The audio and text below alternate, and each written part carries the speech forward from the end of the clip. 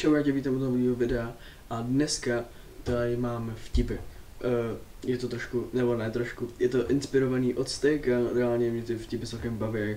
Tohle sice nejsou vtipy od Stejka, ale jsou to vtipy, které jsem prostě našel, vymyslel a někde slyšel a bez dalšího zdržování my rovnou jdeme na to.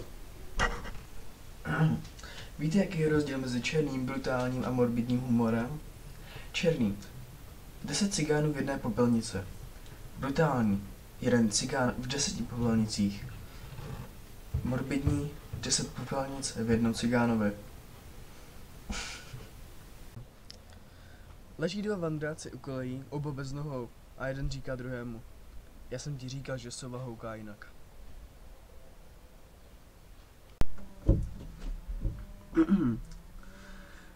Sedí indián u vodopádu a kouká se na svou ženu, jak pere prádlo.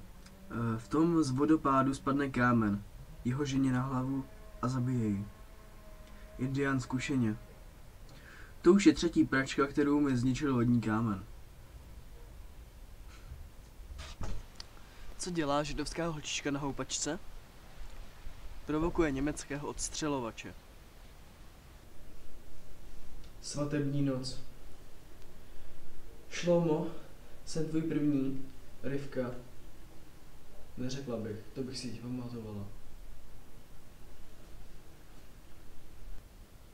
Znáte dvě nejtenčí knihy na světě? Jsou to somalská kuchařka a cikánský zákonník práce.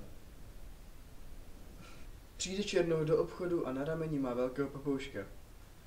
Je, ten je krásný, rozplývá se mladá prodavačka. Odkud ho máte? No, přece z Afriky, tam jich je mnoho, odpoví papoušek. Malý cikán se ptá svého bílého spolužáka.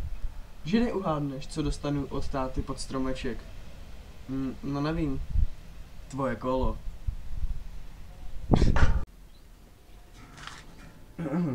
Víte, jaký je rozdíl mezi pneumatikou a černochem? Když dáte řetězně na pneumatiku, tak nezačne repovat.